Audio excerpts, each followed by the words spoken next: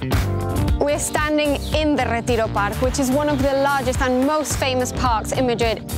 It's actually also known as Madrid's lung. It's full of gardens, monuments and fountains. And this is actually the centre of the park with the Palacio de Cristal, which is made almost entirely out of glass.